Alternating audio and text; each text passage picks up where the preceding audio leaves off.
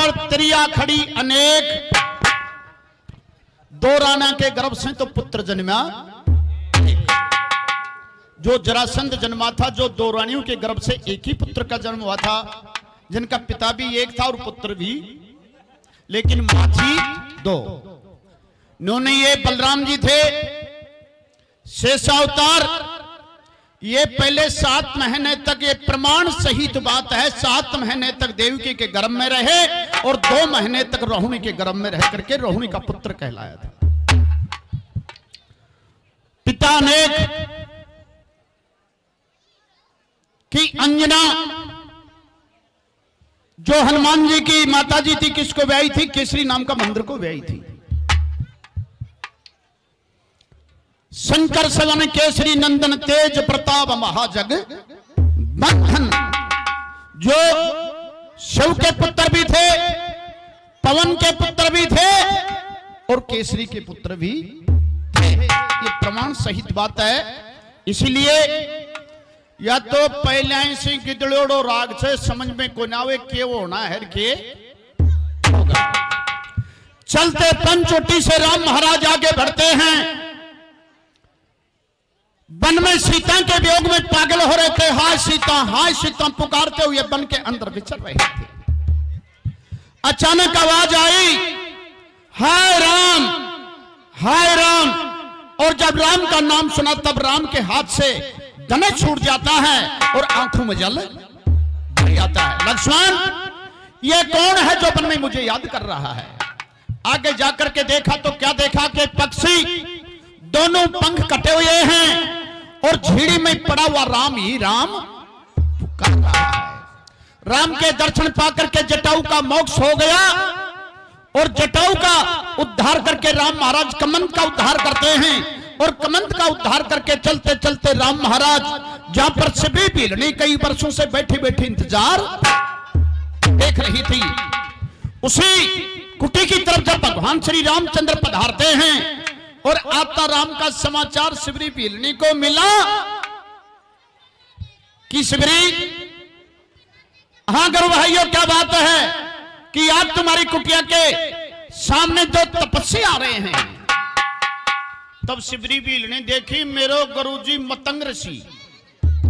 मेरे गुरु मतंग ऋषि चलती समय बता गए थे कि एक दिन भगवान अवश्य तेरी कुटी पर आएँगे।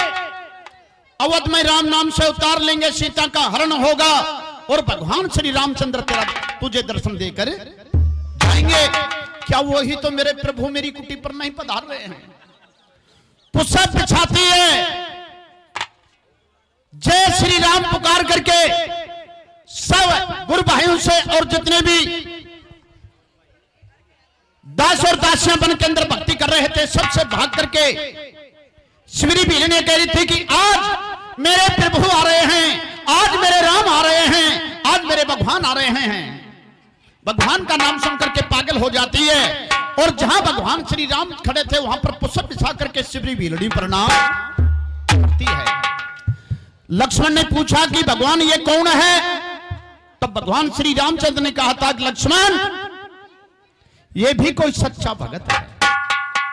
आइए प्रभु, आपका कई दिन से इंतज़ार देख रही थी।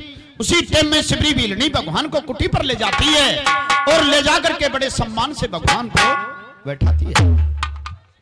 भगवान का पगा कहने देखे और जब थोड़ा बहुत कंकर कांटे गड़े हुए, भगवान के नज़र आते हैं और सिबरी भीलनी के आँसू, आँखों से आँसू टपकते हैं और सिबरी भीलनी भगवान से कहती है, भगवान, ये आपके कोमल चरण, ये पृथ्वी बड़ी कठोर है इसलिए आपको अनेक प्रकार का कष्ट भोगा होगा, आपने भूख लग रही होगी। आइए मेरी कुटी पर आप भोजन। कई वर्षों से तोड़ तोड़ कर बेर एकटा कर रहा का। प्रभु ने बैठा दिया और भीलनी, एक भगवान से कहती है तो क्या कह रही थी किस प्रकार से? भीलनी, प्रभु, भगवान श्री रामचंद्र के सामने बेर पास कर रही थी।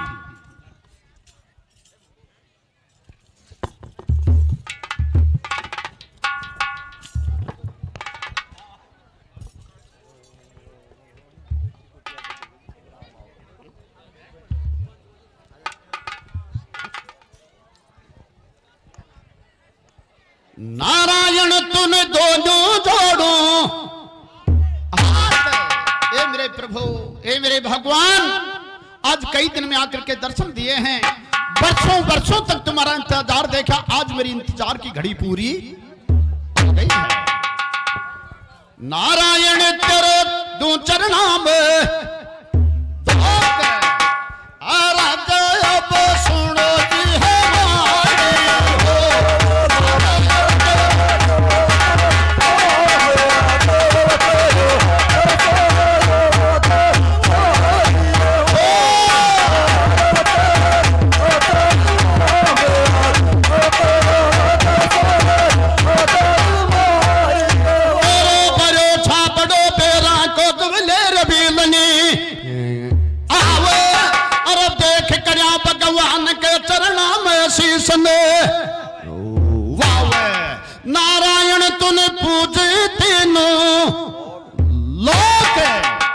भगवान श्री नारायण तुझरी तेरी तीनों लोकों में पूजा होती है, आप भीलनी को दर्शन दिया है भीलनी धन्य हो। गई है, नारायण तुम पूजे तीनों।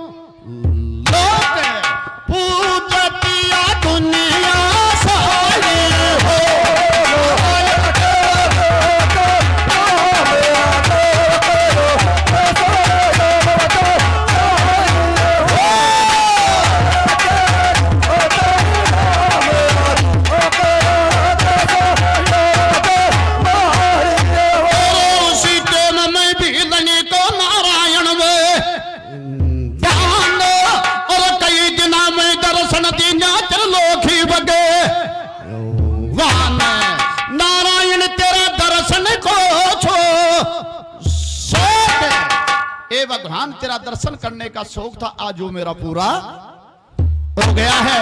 ए प्रभु, आज आकर के तुमने भीलनी को भी दर्शन? शर्म करते रहो शास्त्रों से जब मोटार, दे पिंडी, तेरी बेटी को दे दे गुड़ाई।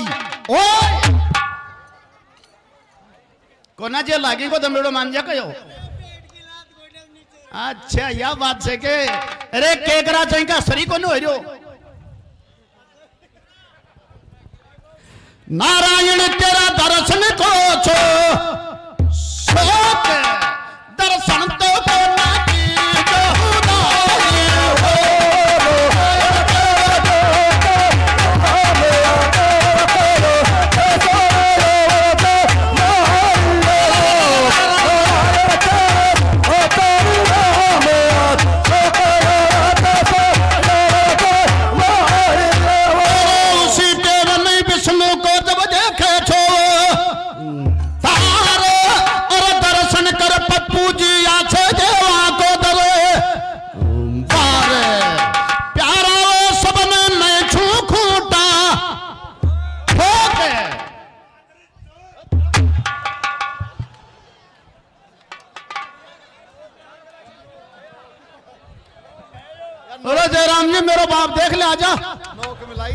आजा तुम मेरा भाव दिखाऊँगा तो ना देखे हो तो। आजा आजा। थारा घर के बूटी जियो से ले जाए नहीं। देख ले देख ले, वन विभाग से रिटायरमेंट प्यारा वो सब मन छू खूटा।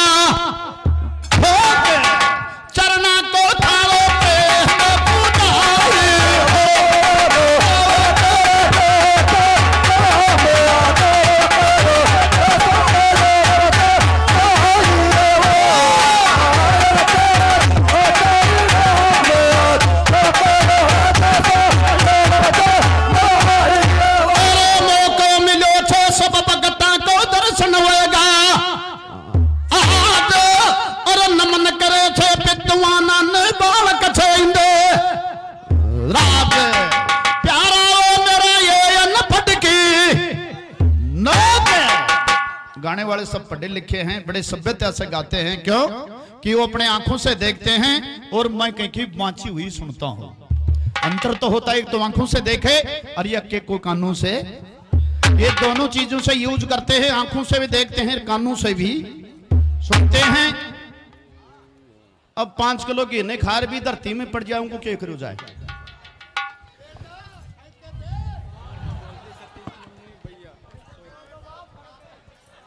प्यारा वो मेरा ये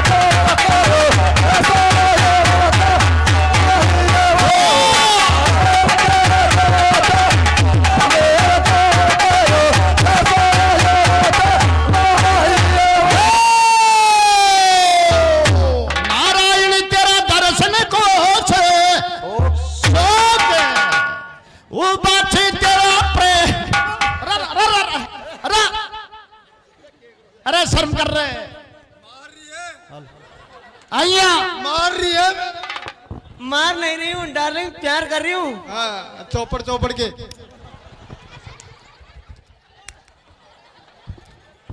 ये मेरा बागान ये छोरिया बावड़ी हो गया यहाँ थोड़ी प्रेम हो पीटवा से। ए बेटा मना सोथम तो पलाड़ी चले जाओ छत जाकर छोरी बेसरी तुम्हारी बुआ जी दे फूफा ने कहीं पीट रही से भैया ये बलाड़ चाव से थपेड़ाई दी जी जी कोई बात ना।